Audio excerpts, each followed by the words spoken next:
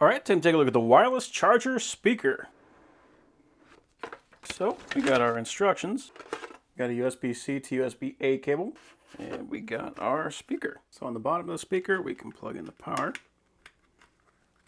And there we go. We got that clock that's going right through the cloth. I always love seeing that. That's a very cool design. And the platform on top, that does charge the phone. That's very cool. But then beyond that, we got our little mirror on the top. And we can set our phone up like that. So we can still use it while it's charging. So that's kind of cool. And we can also see there's a ring light on the outside. And if we want to turn that on and off, we just touch on the right side.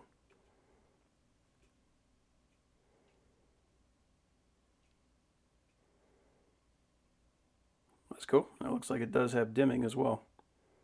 All right, so to set the clock, we're gonna hit the mode button. And now this is flashing, so we're gonna change this to 17. So it is currently five o'clock, so that, that's actually correct. Five o'clock, and it is 55. So I'll just hit plus until we get to 55.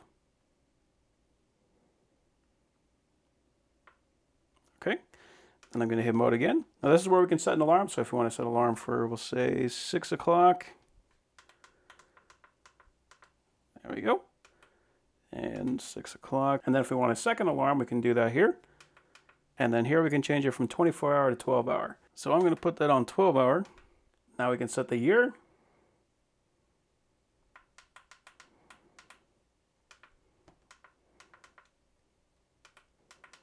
Fourteenth. So there we go. So now it is showing the appropriate time. It is actually 5.55. But yeah, that's it. It's a nice, easy setup. And if we want to connect our speaker, and it showed up as the S33. So now, and use that nice speaker. Pretty cool. So yeah, overall, that is very cool.